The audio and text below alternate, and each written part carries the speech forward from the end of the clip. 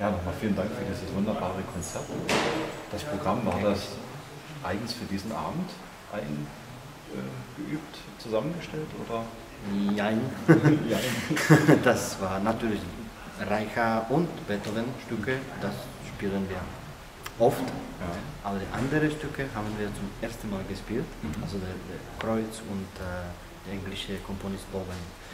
Also für uns war es sehr speziell, weil das war für mein Ensemble eine Premiere, die Stücke zu spielen. Toll, herzlichen Glückwunsch, also die Premiere ist ganz hervorragend angekommen. Dankeschön. Und äh, wenn ich Sie direkt fragen darf, waren Sie schon mal hier in der Region? Haben Sie ich ich habe sogar in dieser Kirche schon einmal gespielt. Ja? Das ist ein paar Jahre her, zehn oder zwölf Jahre. Und ich habe nie vergessen, so eine wunderbare Kirche und vor allem Atmosphäre und wenn es voll ist wie heute Abend.